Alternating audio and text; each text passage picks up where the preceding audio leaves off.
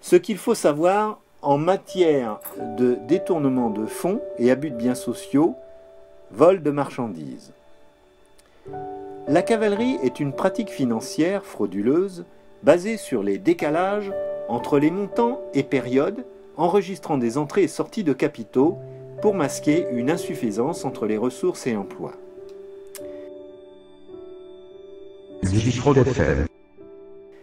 Quelques exemples. Lorsque deux entités économiques tirent réciproquement des effets de commerce l'une sur l'autre, afin de pouvoir utiliser ceux-ci comme support de refinancement, et notamment en les remettant à l'escompte auprès d'un banquier, la créance n'étant pas causée et le procédé relevant d'une pratique délictueuse, celle-ci prémédite la faute de gestion. Cette faute de gestion est donc caractérisée.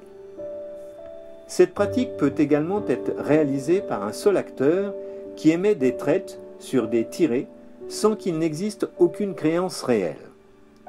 Dans ce cas, le fraudeur attend que l'effet lui revienne impayé pour le couvrir en trésorerie, notamment en remettant d'autres effets à l'escompte.